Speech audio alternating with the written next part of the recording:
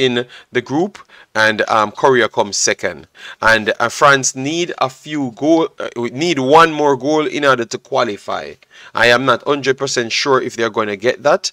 Um, we by the time we are finished, we will know if they do get it. But it's looking tough because they are they do have 10 players, and the fact that they are leading 3-1 over Honduras that is amazing. But anyways, this game finished. It was pretty much dom dominated um, by um, Gambia. To be honest, um, a lot of the shots was pretty much unlocked.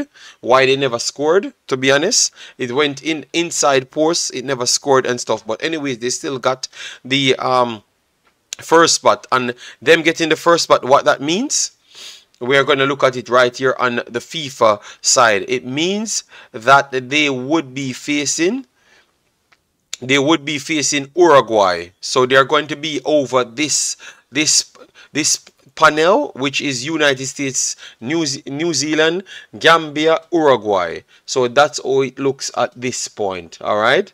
That's how it looks at this point. If they had come second, they would have placed Ecuador and go over the part of Italy. So um, I think that is okay enough for me. I think that's okay for me. Um, so the next next one is um, Uruguay. Um, they could go back to the drawing table and work on it. All right. So guys, let me know your thoughts in the comment section. Um, if you're new, please do like, share, and subscribe. Smash the like button and um, leave your thoughts in the comment section. All right. So have a nice day, and we will talk again, people. Peace out. All right. Bye bye.